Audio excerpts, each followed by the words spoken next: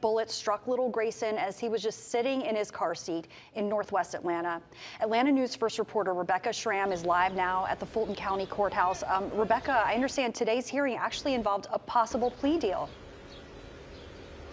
Well, that's what we thought, Joy and Rob, but we just got some new developments moments ago, and I can tell you that it turned out it was a hearing for one of the defendants to try to sever herself from the other defendant and be tried separately. Take a look because one of the defendants, Sharice Ingram, is out of jail on bond awaiting trial. She stood a little bit earlier as the judge was calling roll, asking the attorneys if they're ready for today's hearing. And let's give you some background on the case. It was January 23rd of 2023 when Carrie Gray called 911. She had just parked her car outside a Food Mart store on Anderson Avenue in northwest Atlanta when people in two cars drove past shooting apparently at each other. A stray bullet struck her son, six month old Grayson, killing him as he was still strapped in his car seat. The next day, DeQuasi Little was arrested in the boy's murder, and the day after that, Sharice Ingram turned herself in.